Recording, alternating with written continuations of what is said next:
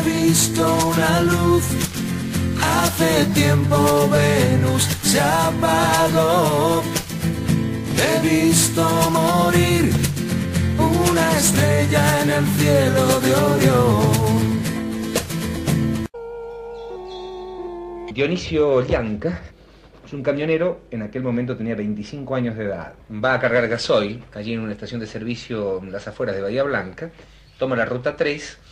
eh, hacia el sur de la República Argentina y a 19 kilómetros de Bahía Blanca, muy cerca de esa ciudad, se estaciona a la vera del camino, siendo ya la una y media de ese domingo. Una noche bastante estrellada, muy clara.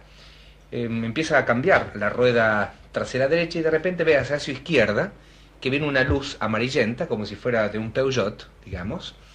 y piensa que es el coche que lo va a pasar. Sigue haciendo su tarea y de repente ve que esa luz de Peugeot sale del camino y se coloca detrás de él, arriba de un eh, bosque de árboles,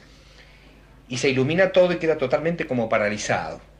Ve también o percibe un haz de luz compacto, coherente, que lo deja más todavía paralizado, hasta que alguien lo toma de la parte de atrás de su camisa lo levanta y se encuentra a distancia de un metro, un metro cincuenta, con dos hombres y una mujer, y uno de los hombres le hace una incisión en su mano derecha entre el dedo pulgar y el dedo índice. Una, incisión con lo que él pensaba en un primer momento que era una máquina de afeitar, porque era parecía una máquina de afeitar eléctrica. Ahí pierde conocimiento.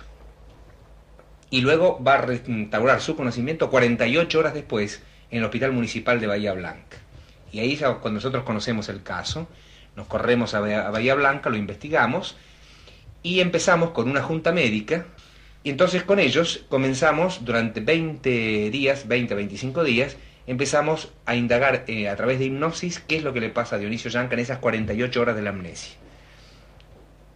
Volvemos al punto en que le habían hecho la incisión entre la mano derecha, entre el dedo pulgar y el dedo índice. De allí, los tres seres, dos lo toman por las axilas, los dos hombres toman por las axilas a Dionisio Yanca, la mujer va adelante y suben por una plancha luminosa, que es muy característica del fenómeno ovni que se han dado en muchos casos, también ustedes en, en España tienen un caso muy especial también de esos luces compactas y coherentes, en Francia, en Alemania también hay, y sube como si fuera una plancha luminosa, él dice una plancha luminosa, va caminando para subir al aparato, porque la parte de abajo tiene las compuertas abiertas y se mete dentro del aparato. Describe cómo es el aparato por dentro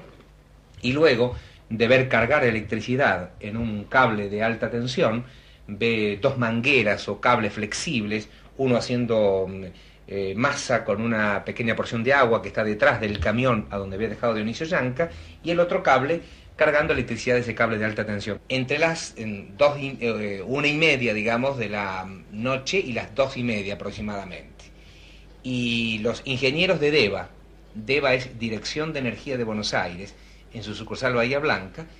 Ellos controlan mm, todas las horas cómo es el consumo de energía de la ciudad de Bahía Blanca y el informe que hacen los ingenieros de esa ciudad, de, DEVA, Dirección de eh, Energía de Buenos Aires, dicen que entre las 2 y las 3 de la mañana de ese día sube el consumo de energía eléctrica de la ciudad de Bahía Blanca en forma inexplicable. Quiere decir que ahí además de la hipnosis, del narcoanálisis, tenemos todavía informes de ingenieros que dan la suba del consumo de energía eléctrica.